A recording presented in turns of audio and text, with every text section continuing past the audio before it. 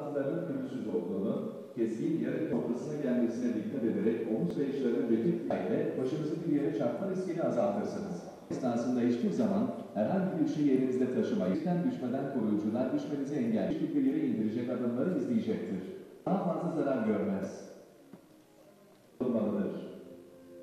Emniyet kemeriniz ve koruyacağınıza dair eğitim verecektir. Yüksekten düşmeyi durdurucu sistemleri kullanın.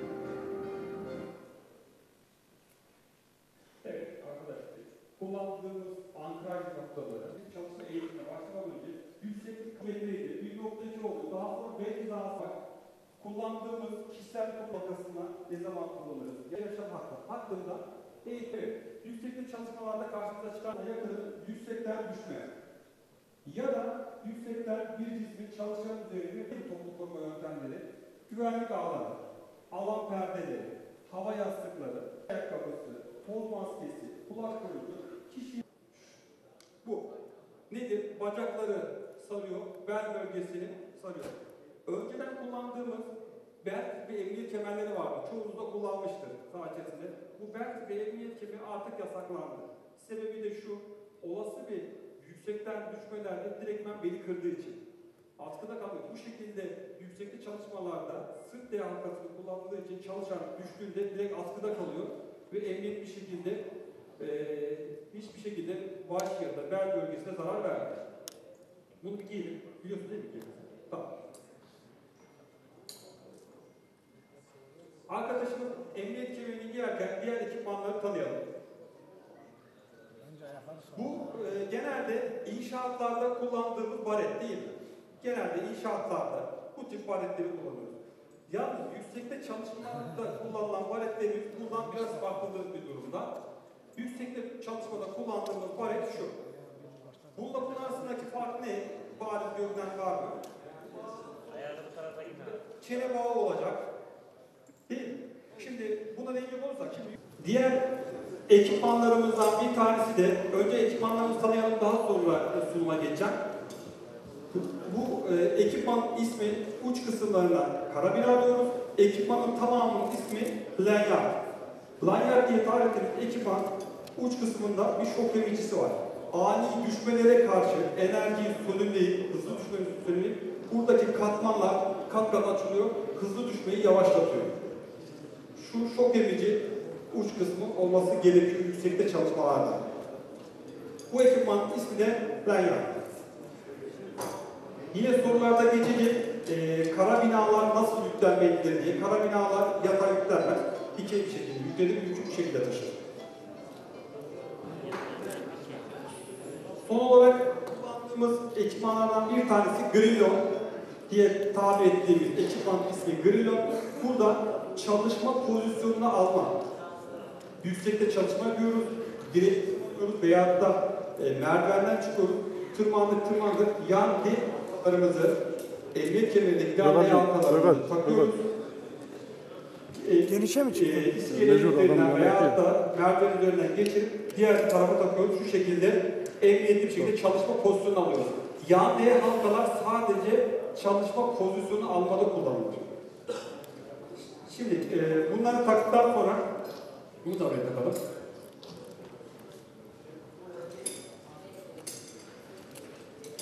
Lanyardımızı çalışma sınırlandırmada kullanıyoruz. Nerede kullanıyoruz? Sırt D halkamızda kullanıyoruz. Sırt D halkası önemli. Bunu ben yanda kullanırsam, bunu da tırmanırsam o ani düşmelerde direkt beli kırabilirim değil mi? Vücudu terazisi bozulur. Ama sırt D halkasını kullanıp kapısını kilitliyorum. Bu şekilde ani düşmelerde yük bindiği zaman ne oluyor? Direkt ben askıda kalır. Onun için e, genelde sırt D halkası ya da göğüs D halkasında kullanılması gerekiyor lanyardımızın tırmanışlarda.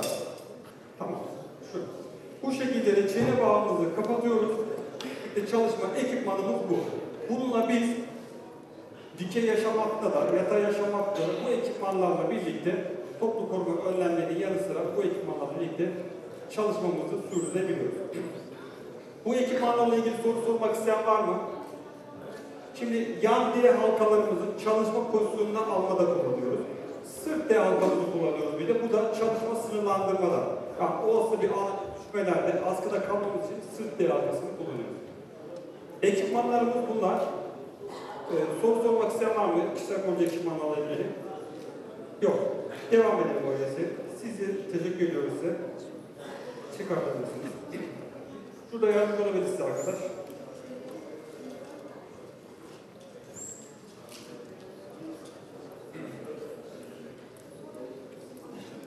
tam vücut tipi emniyet kemerimiz.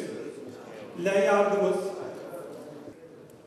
İnşaatlarda özellikle verdiğim eğitimlerde inşaatlarda bu tür e, uygunsuzluklardan dolayı çok ciddi iş kazaları oluyor.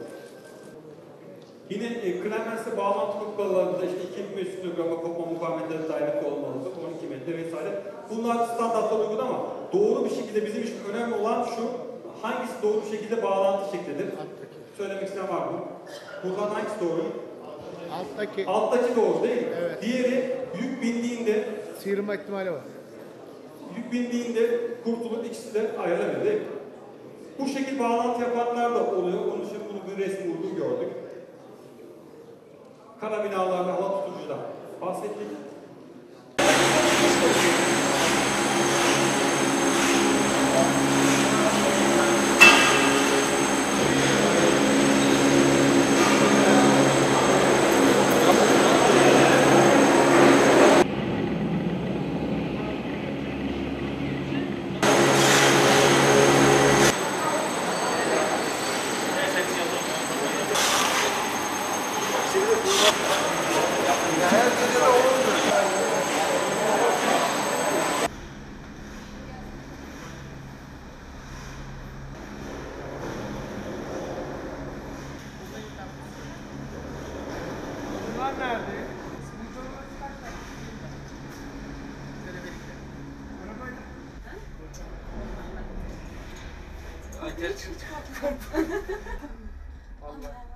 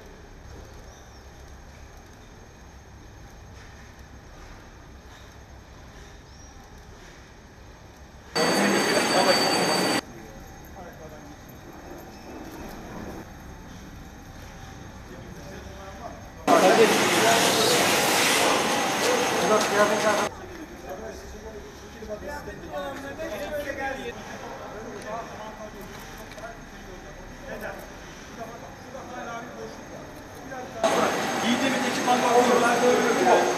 Şuranın şöyle çektiğim zaman bel hizasına göre şu şekil sıkmamız bel, bel bile bakıyoruz. Tamam.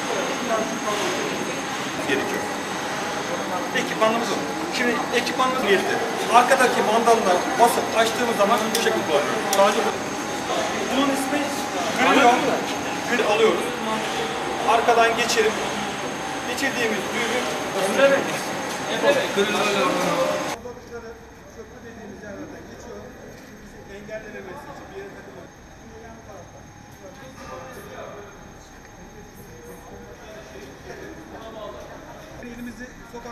Sıkı bir geçme oluyor ya. Burada geçme sıkı bir geçme olacak. Bak şu gayet iyi.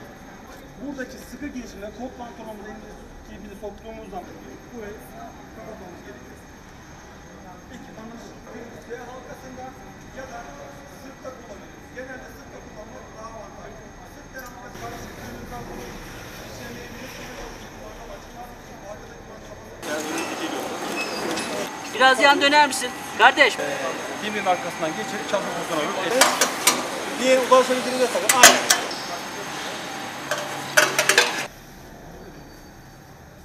Şimdi tekrarlayalım. Takımımızda çıkıyoruz, den yardımı, ulaşabildiğimiz. Aynen. Burada düşüş durdurucu sistemimiz var. O şok emicili. Siz bir adım daha çıkıyorsunuz. Baba nerede? Diye ulaşabildiğinize takın. Aynen. Böyle parça parça çıkıyorsunuz. Peki bağlantıya çıkana kadar çıkın. Thank you.